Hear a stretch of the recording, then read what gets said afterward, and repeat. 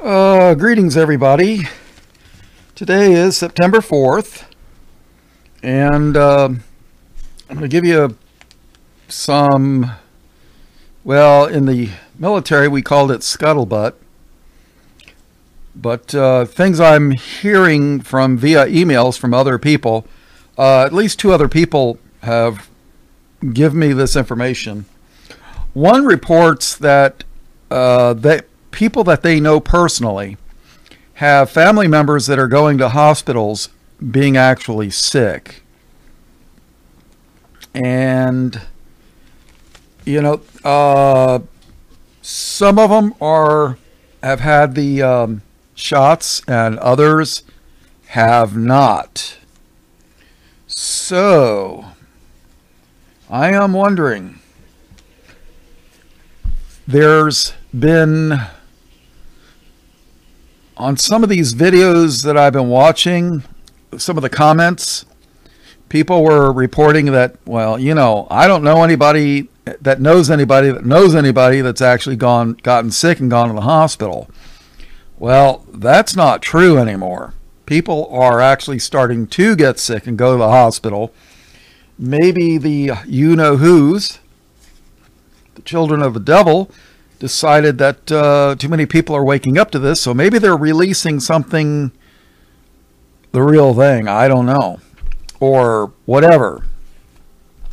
Maybe they're spraying something in the air. I, you know, I don't know. But I'm hearing reports that people are going to the hospital. And a lot of these hospitals are at the point where they're like, oh, well, you know, if you're going to come to the hospital here, you're going to have to get, you know, we're going to have to inject you with something.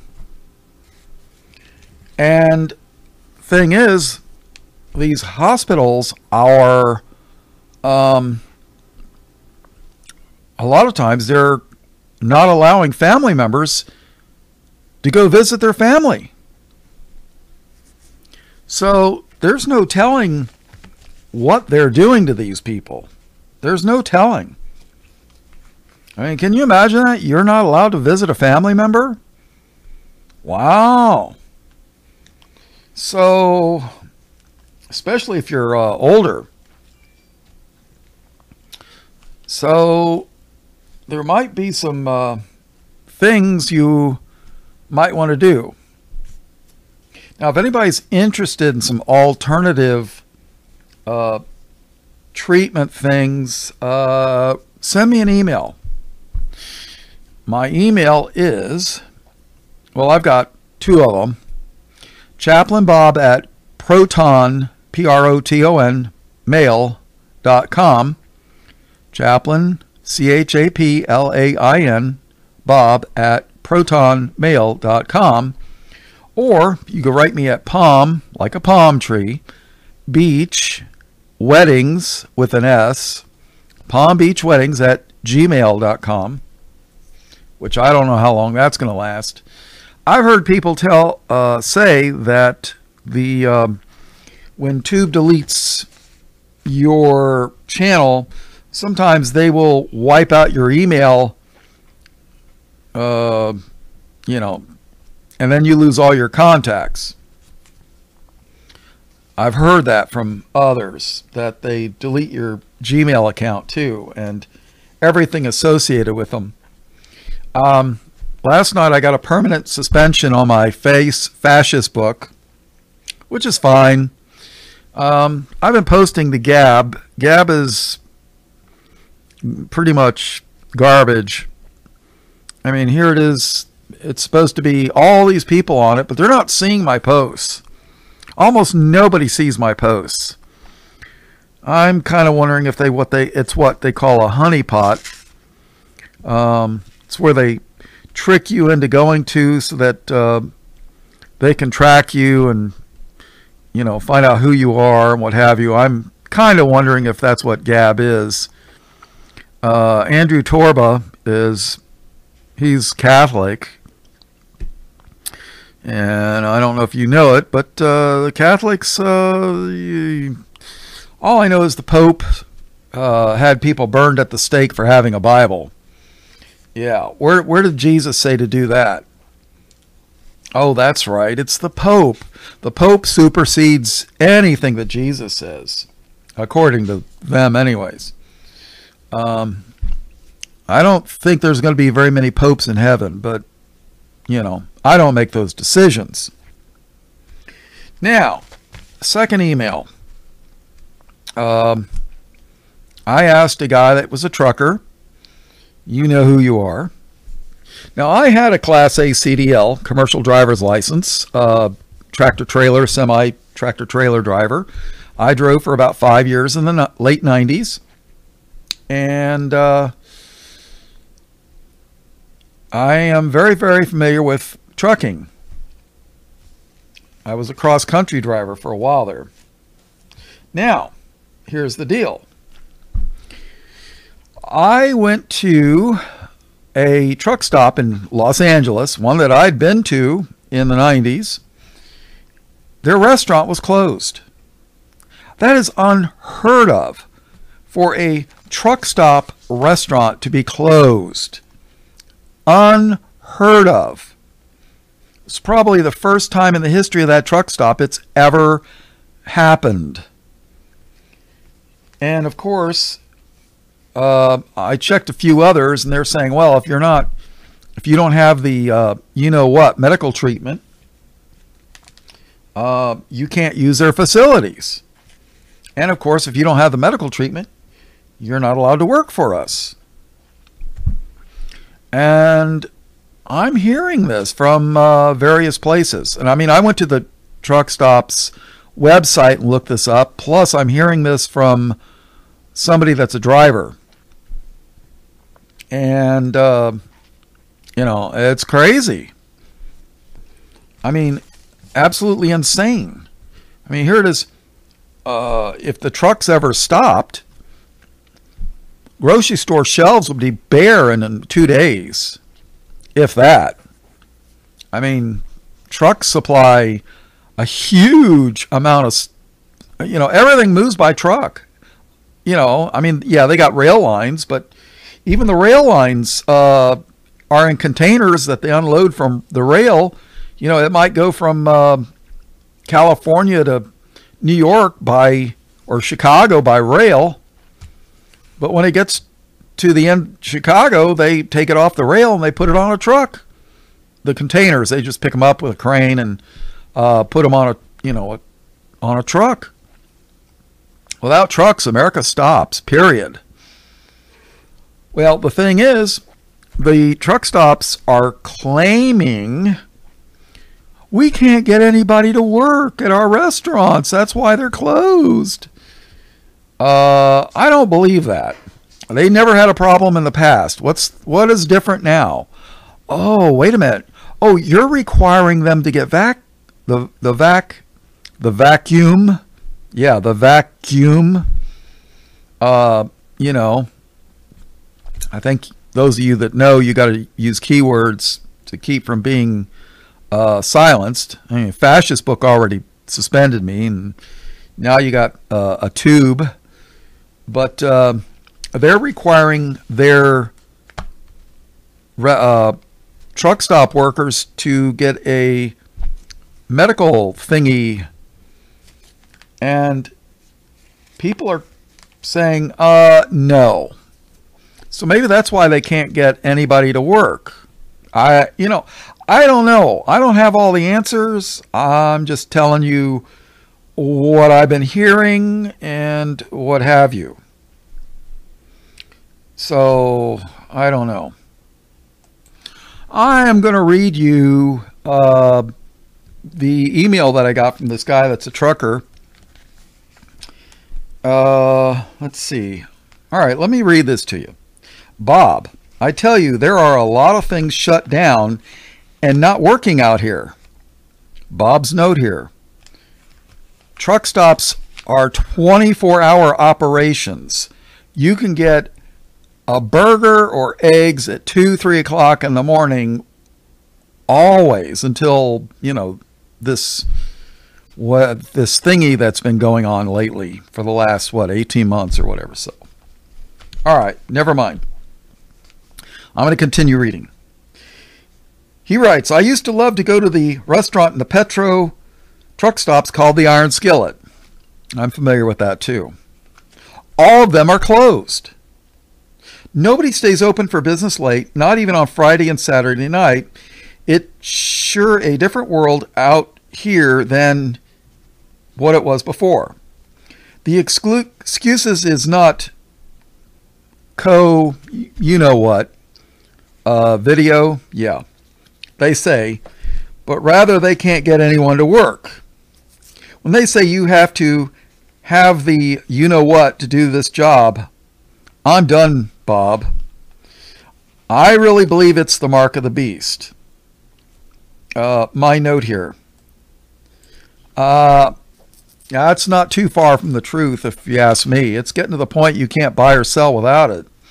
However, it's not in the right hand or in the forehead yet. So, yeah, we'll see how that runs. Okay, let me continue. And these masks are just a humiliation ritual that um, sun god worshippers that are druids that run all our businesses, country, and media, they're doing it to humiliate the seed of Adam. Just wait till the seed of Cain starts killing all these sheep.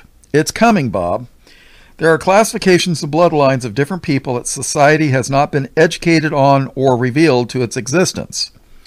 Uh, Bob's note here. Boy, that's the truth. Let me continue. When it starts, people are not going to even know what's going on. It will happen, Bob. God has shown me these things, and as far as these pharaohs are concerned, who are the leaven of the Pharisees, they think nobody sees them. And by the way, uh, when Bob's note here, when Joseph and Israel was in uh, Egypt, there was a different line of people called the Hyksos who were Semitic cousins of the Israelites running the show. And then the hundreds, whatever, couple hundred years later, uh, when Moses and Pharaoh were there, uh, that Pharaoh was actually of Egypt. And Egypt and Ethiopia were the uh, descended from the children of Ham. Now, whether or not the people that are in Ethiopia today are the same ones as before, I don't know. But they were the children of Ham. Ham was the non chosen seed, and Ham was where the Philistines, the giants, Goliath, David and Goliath, and where the Canaanites, you know, the, the people that God said to kill them all, uh, where the Canaanites came from. They were from Ham. So uh, God wasn't very pleased with Ham. And just remember, Ham's not kosher, right? That's a joke. All right, let me continue uh, seeing this. Um, and as far as these pharaohs are concerned, who are the leaven of the pharaoh Pharisees, they think nobody sees them. But just like in the days of Jeremiah, Bob, God has taken me and showed me their abominations and idols, just like back in the prophet Jeremiah's time. And God is going to let this come upon the commoners. That's what it's going to take Bob to restore his church because it is in a major state of falling away. And Bob says, Amen to that. I can hardly believe that these, uh, Bob's note here, I can hardly believe these truck stops and restaurants are closed. I mean, if these truck stops closed, trucks would be, they would stop and the grocery stores would be empty. You know, people, if you got money in the bank, uh, you know, think about what would happen. Um, you know, suppose the grocery stores were empty for a month. What would you do? Think about it. Uh, can you eat your money in the bank? Huh? Can you? Think about that. You know? Yeah, government's going to take care of you all right. Yeah, they're going to take care of you all right. Yeah. So, um, all right. Well, I just thought I would share that with everybody. And, uh, And oh, by the way, I got kicked off a fascist book, and uh, which is fine. And like I said, Gab is garbage, pretty much. I think I'm not even going to mess with it anymore. I do have a presence on Odysee, um, but Odysee copied my videos from YouTube.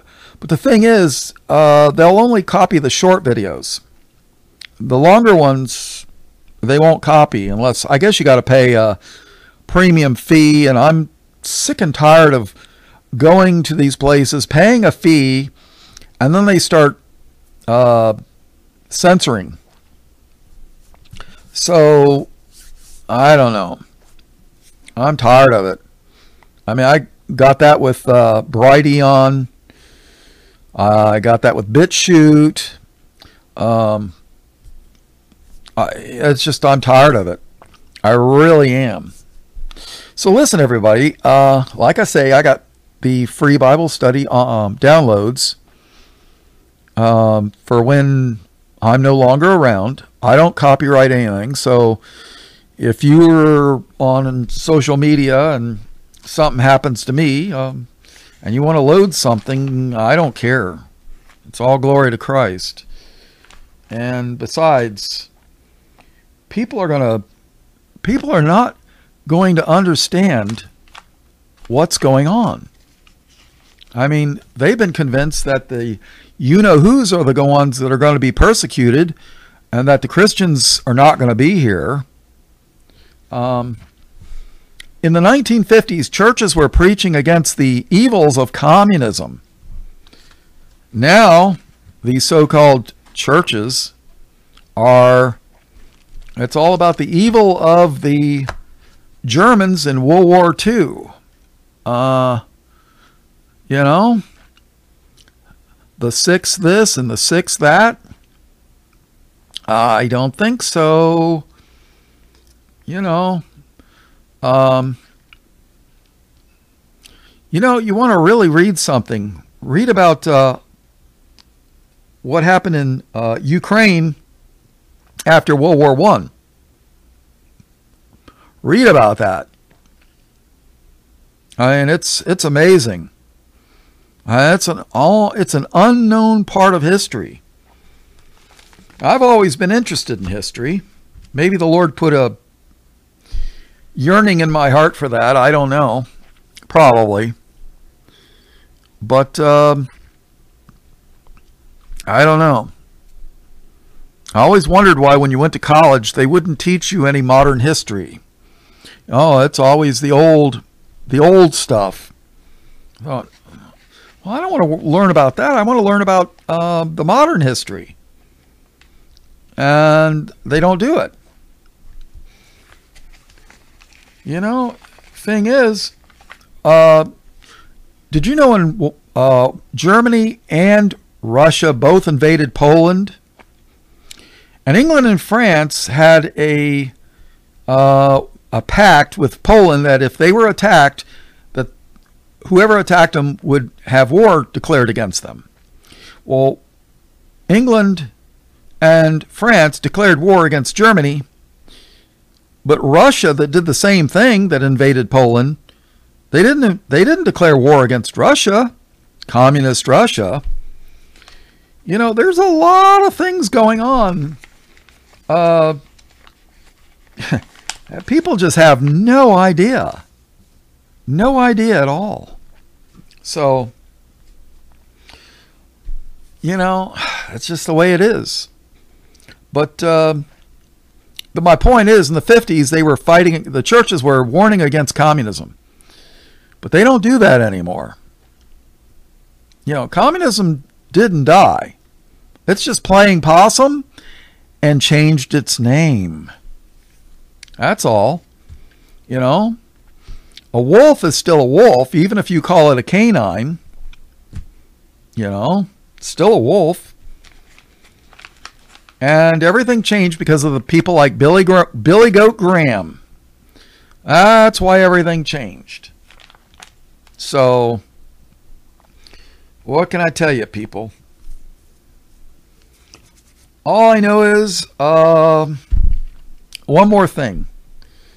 Uh, I'll be honest with you. I, in the past, I had like a burning to, to do Bible studies on like certain subjects.